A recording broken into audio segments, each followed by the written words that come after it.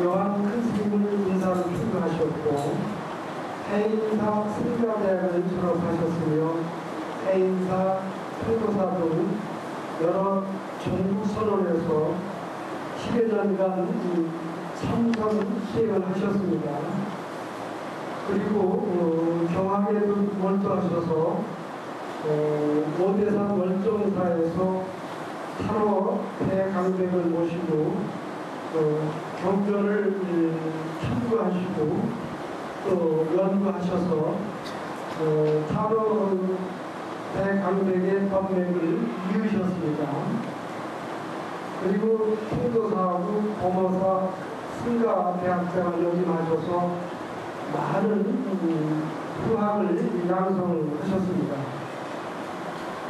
또한 대한민국 쪽에도 음, 승가대학 원장을 지내셨고 종단의 3대 원장이신 교육원장을 역임하셨습니다. 현재는 음, 범어사에서 수석하시고 얼마 전에는 음, 동국 역경원장을 임명을 받으시기로 했습니다. 범어사에서는 그 인터넷 카페를 통해서 영화실을 통해서 이제 그 세계가 컴퓨터 시대가 되기 때문에 전 세계에서 우리 큰 스님 법문을 듣고 또 많이 기뻐하고 있습니다. 그래서 큰 스님께서는 세계적으로 불교를 이렇게 널리 전하시고 또 프로그램을 하고 계십니다. 그리고 그런 바쁜 중에서도 꾸준히 집회 활동을 하시고 계셔서 그 집회를 통해서 많은 국장님의 마음에 문을 열어주고 계십니다. 주요 저서는 뭐 화엄경을 만족하시고 또 금강경 오가에 또 지장경 임재국 강설 법화경 강설 또 사람국 부처입니다 등 주옥 같은 많은 저서들을 우리가 어, 저서를 통해서 크리스의 마음을 우리가 늘 있고 그래서 이렇게 평소 소교 활동이나 또 경학 활동에서 애를 써주신 크리스를 직접 모시고 우리가 선법을 듣게 된 것은 큰 기쁨이고 행복이 아닐 수 없습니다. 그래서 여러분들 우선 큰 스님께 큰 박수 한번 부탁드립니다.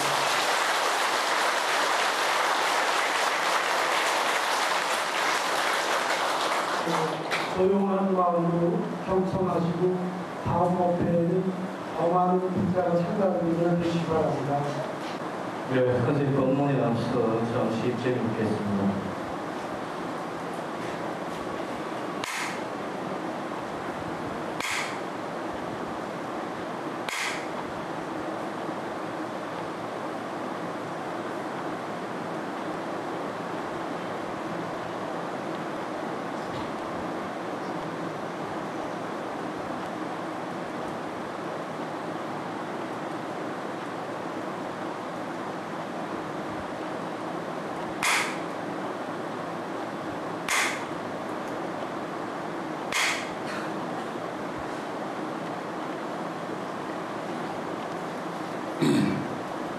어, 오늘 어, 금강경 살림뷔페 그세 번째 시간입니다.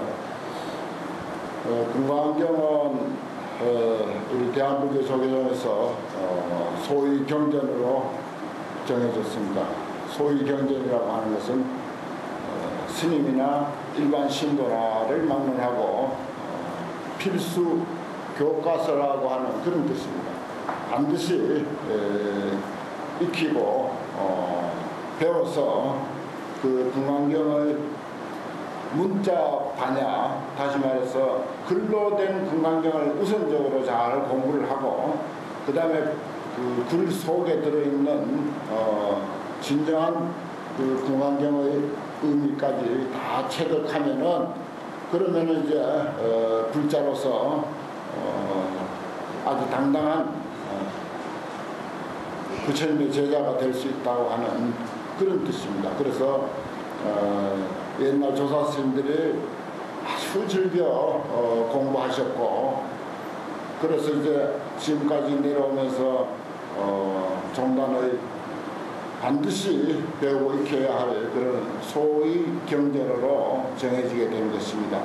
이러한 것을 우리는 매년 어, 저희들도 공부하고 있지만은 우리 불자님들도 다 같이 깊이 에, 그 이해하고 몸소 실천할 수 있도록 하기 위해서 어, 부모사에서는 이러한 시간을 마련했습니다. 오늘 그 세 번째 제 7분과 8분과 9분 이 세 가지 분을 가지고 어, 공부할 차례입니다. 어, 육조 해능 스님께서 금강경 한마디 읽는 소리를 어, 듣고는 어, 큰 깨달음을 성취하셔가지고 어, 그야말로 어, 역대 조사 중에 천하의 아주 어, 육조 해능 대사가 되어서 오늘날까지 우리에게 우리 같은 그런 그 어, 명성을 어, 듣게 하고 있습니다. 그만치 금강경에는 한 구절만 제대로 우리가 이해한다 하더라도 어, 협범성성이라 범부를 고쳐서 성인이 되고 우리 인간을 완전히 개혁해서 정말 보다 더 다른 차원의 삶을 살 수 있도록 가르치고 있는 것이 금강경입니다.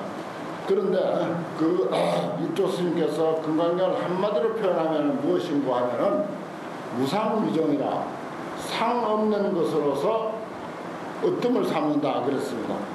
어, 금강경은 뭐 다른 경전에 어, 비교하면은 사실 그렇게 어, 두꺼운 경전, 내용이 많은 경전이 아닙니다. 그러나 이것을 우리가 제대로 이해해서 실천하기는 참으로 어렵습니다. 상이 없다고 하는 거, 이 세상은 전부 상덩어리입니다. 첫째, 우리 육신이 상으로 있고, 또, 어, 내 육신을 중심으로 해서, 어, 내가, 어, 가지고 있는 것, 어, 뭐 사람이 됐던 물건이 됐던 무슨 뭐 등기가 되어 있는 어떤 그 재산이 되었던 어, 나의 소유, 내 집, 뭐 내 토지, 내 돈, 어, 내 자식, 내 부모, 나를 중심해서 나에게 딸려 있는 그것이 아주 직접적으로 나의 것이 됐든 좀 거리를 둔 어, 나의 것이 됐든 간에 모두가 어, 나의 것이라고 하는 이러한 그 어, 구조로 이루어져 있습니다. 나와 나의 것으로 어, 이루어져 있는 게 이 세상이에요.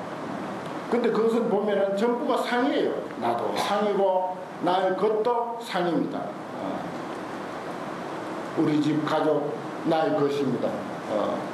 또 어, 나의 재산 또 내가 아는 지식 내가 정이 가는 사람들 뭐 이 모든 것이 전부 나의 것입니다.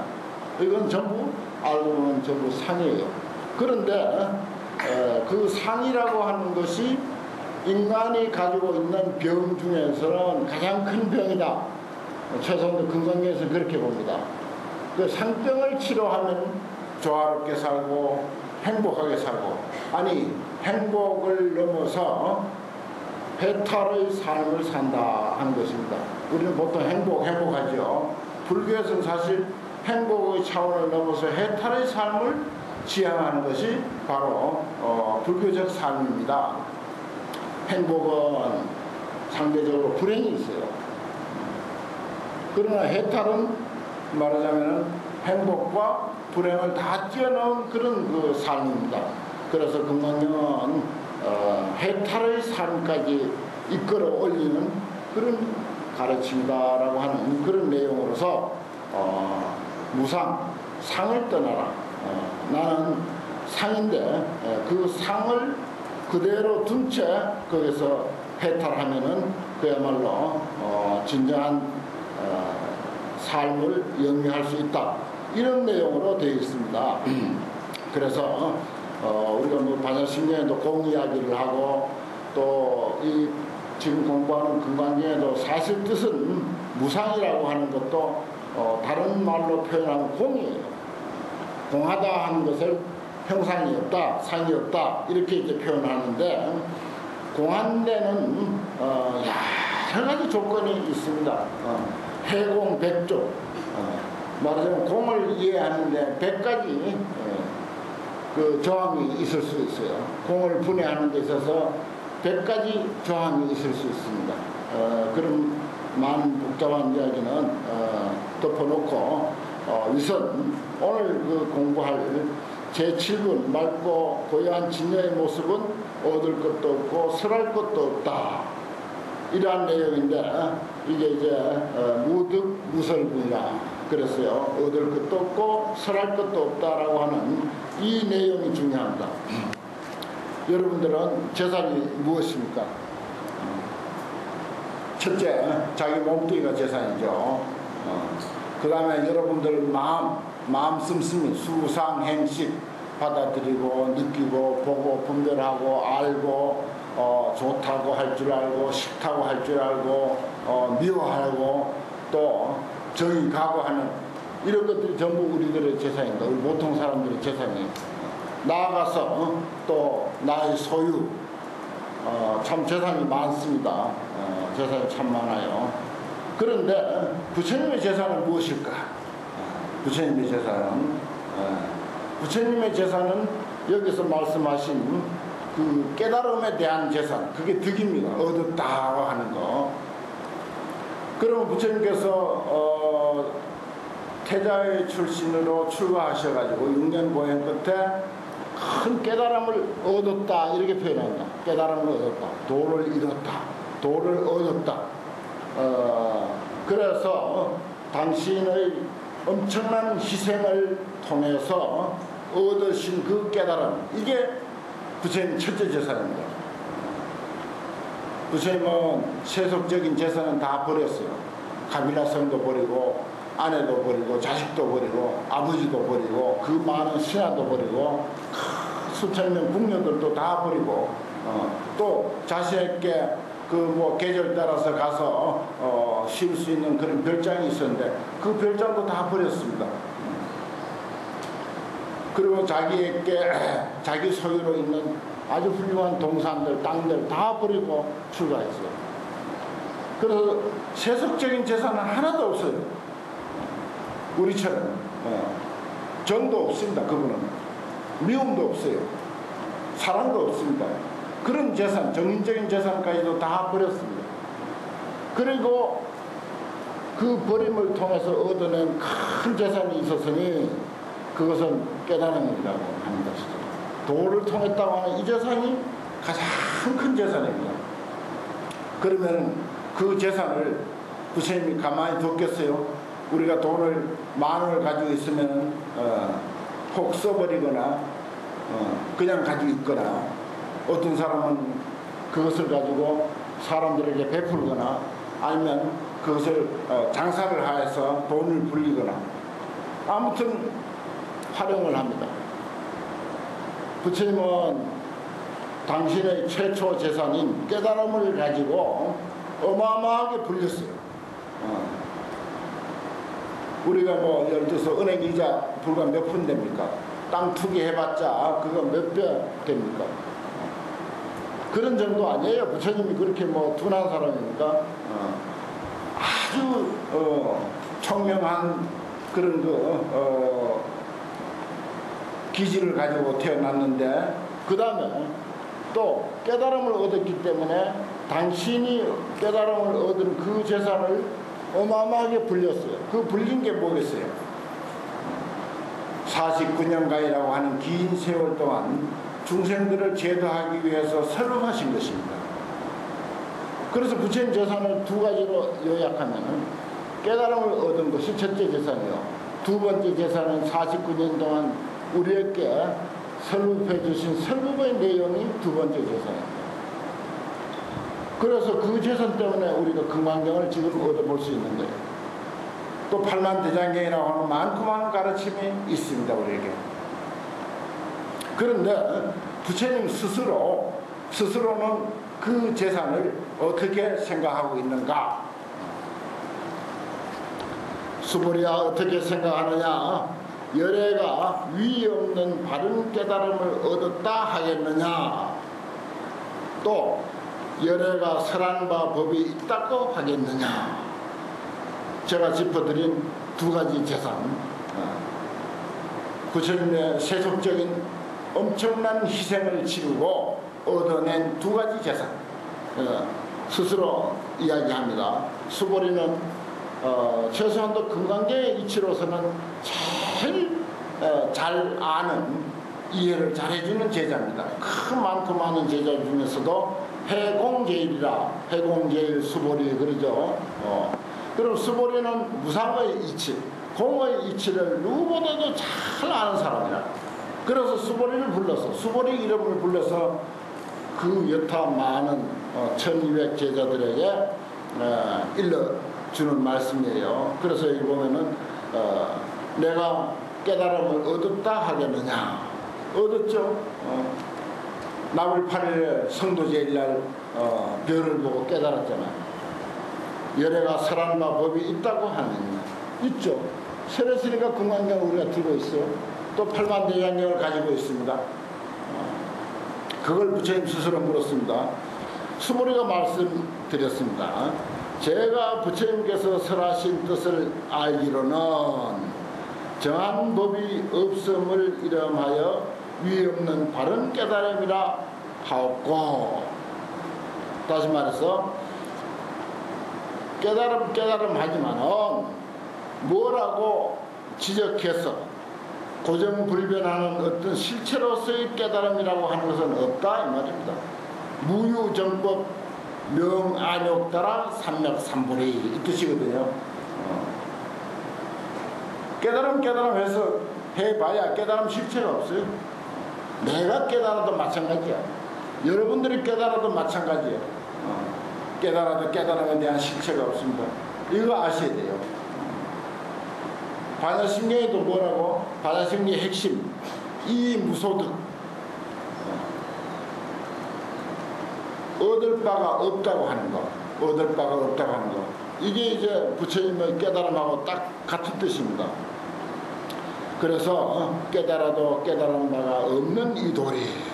그 다음에 뭐예요? 또한 정한 법이 없음을 부처님께서 말씀하신 줄로 압니다. 무유정법 열의 가설 이 말이에요. 부처님께서 고정된 어떤 실체로서의 설법은 없습니다. 우리가 팔만대장경 팔만대장경 하면서 하늘처럼 떠받드는 부처님의 설법 어, 그건 고정된 실체로서의 법은 없는 것이다 하는 그 말이에요.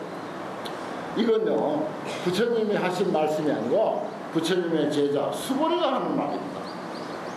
장로 수보리께서 어찌 감히 부처님의 재산을 지 마음대로 어, 부처님 깨달음 깨달음 하지만 부처님 깨달음 없습니다. 부처님 설법 설법 하지만 부처님 설법 없습니다. 단호하게 표현하면 그런 뜻입니다. 감히 제자가 부처님 앞에서 그렇게 이야기하고 있어요. 스스로 그렇게 이야기하면 이해가 갑니다. 그러나 불교에는 어, 그 뛰어난 점이 법에 있어서는 어, 스승이고 제자고 부처님이고 중생이고 분별이 없습니다. 최소한도 법에 있어서는 어, 정확하고 바른 견해라면은 누구 앞에서든지 당당하게 표현할 수 있도록 되어 있는 게 불교예요. 그러니까 수보리가 내가 아는 대로는 내가 제가 부처님께서 설, 설하신 뜻을 알기로는 내가 그동안 부처님에게 공부한 바로는 이 뜻이거든요. 공부한 바로는 부처님 깨달은 바 고정된 어떤 그 실체가 없습니다. 설법에도 고정된 것이 없습니다. 그랬어요. 그러면서 또 왜냐하면 여러께서 말씀하신 법은 다 취할 수 없으며 말할 수도 없으며 법도 아니고 법 아님도 아니기 때문입니다. 거기에 조건까지 이렇게 붙여서 설명합니다. 아주 구체적이죠. 그러니까 뭐 답만 이렇게 딱 하지 말고 결론만 딱 내리지 말고 결론 딱 내려놓으면은 아주 납득할 수 있는 이해할 수 있는 그런 그 구체적인 설명을 해줘야 돼. 덮어놓고 뭉뚱그려갖고 우리 사람들 이야기하는 거 들어보면 그만 결론만 뚝 던져갖고 남 감정 상하게 하는 거야. 여기도 수보리가 그렇게 해놓고 말면은 부처님도 감정 상하지. 그런데 뭐라고? 여러께서 말씀하신 법은 취할 수 없습니다. 취할 게 없어요. 어, 실체가 공한 거야. 실체가 비었어. 음. 말할 수도 없어. 어. 뭐라고 언어로서 제대로 표현할 수가 없어. 법도 아니야. 법, 법 하지만, 불법, 불법 하지만은 법의 실체가 없으니까 법도 아니고, 법 아님도 아니다. 비법도 아니다. 그랬어요. 어. 법 아닌 것도 아니다. 여기는 이제 여러 가지 에, 설명을 할 수가 있겠지만은, 처음에 육조 스님께서 금강경을 듣고 깨닫고 나서 어? 금강경을 늘 권하셨어요. 육조 해놓은 대사께서 금강경을 그렇게 많이 권하셨는데 권하시면서 한마디로 일러준 무상위정 어, 상 없는 것으로서 어떤 삼는다라고 하는 바로 어, 그 의미로서 우리가 풀이를 해야 합니다. 여러 가지로 이제 설명할 수는 있어요. 어, 그런데 어떤 깨달음이라든지 부처님의 설법이라든지 이것은 어떤 상이 없다는 것입니다. 어, 상이 없다는 것입니다. 그런데 어, 무슨 까닭인가 하면은 모든 성현께서 함이 없이 없는 마음으로서 차별을 두었기 때문입니다. 그래서 함이 없는 마음으로서 차별을 두었다. 무, 이 무위법으로 이유 차별 이런 말을 했습니다. 어, 본래는 없는 데서 아무것도 없는 데서 너니 나니 예, 깨달음이니 예, 온갖 것을 여기서 나열했다. 왜냐? 사람들이 살아가는데 편의상 필요하기 때문에 편의상 필요하기 때문에 우리가 예를 들어서 무슨 뭐 여기 어, 이 법당만 하더라도 각자 어, 맡은 일이 있어요. 부서마다 맡은 일이 다 있어. 본래 없어. 그런데 사찰을 운영하려면 어, 이 설법전을 운영할 사람은 설법전 운영해야. 또 설법전 안에 들어와서도 뭐 어, 합창할 사람은 합창단. 또 무슨 부처님들 뭐 고임세를 올리는 사람들은 뭘 올리는 일을 그리고 어, 청소는 청소 위표를 붙인 사람은 위표 붙이는 사람 의자를 정리하는 사람은 의자를 정리하는 사람 가까이 그 어떤 우리의 그 아, 어, 생활과 연관시켜서 생각하면 그렇게 나열이 되어 있습니다. 가정도 그렇고 사회도 그렇고 사찰도 그렇고 다 어떤 단체 할 것 없이 다 그렇게 되어 있어요. 그러나 그것이 뭐 본래 있던 겁니까? 본래 있는 게 아니에요. 또 돌아서면 없어요. 우리가 이, 이 시간 끝나면 그런 거 전혀 분별 없어. 저 가서 이제 아, 뭐 택시 타든지 버스를 타든지 타고 내려가면은 법무사에서 무슨 소용을 받든지 아무 상관없어요. 그냥 집으로 돌아가는 사람일 뿐이야. 뭐가 있습니까? 아, 내가 합창단이다. 아, 내가 설문점 관리하는 사람이다. 저기 시내 어, 전철 타고 가면서 그렇게 외칠 겁니까?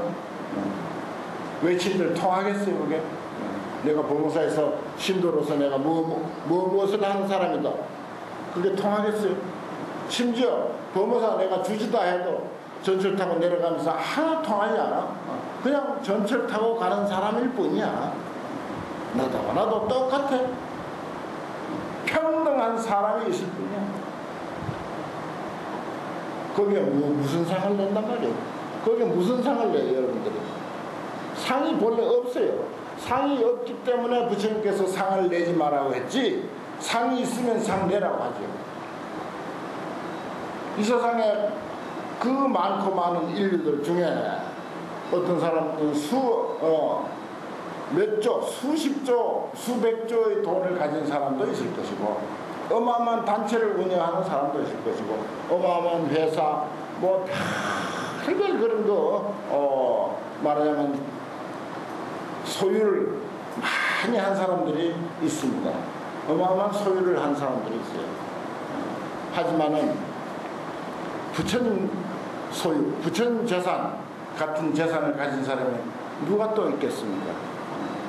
수십조 재산을 가진 그런 그 대그룹의 회장이라 하더라도 부처님 재산하고 비교하겠어요? 여러분들 가진 게 얼마나 있어요? 부처님 재산하고 비교 한번 해봅시다. 부처님 재산은 이 세상에 그 누구도 터득하지 못했던 그야말로 전후무한 가장 높은 깨달음을 성취하신 그 분이고 거기다가 누구도 따를 수 없는 그런 최고의 설법을 하신 분이다. 그래서 그것이 재산이야. 그럼에도 불구하고 부처님은 뭐라고? 그것도 제자의 입을 통해서 스스로가 아니고 제자의 입을 통해서 어. 나는 얻은 것도 없고 바도 없다. 얻음과 깨달음과 설하신 것에 대해서 완전히 상을 떠났다 하는 것입니다. 어.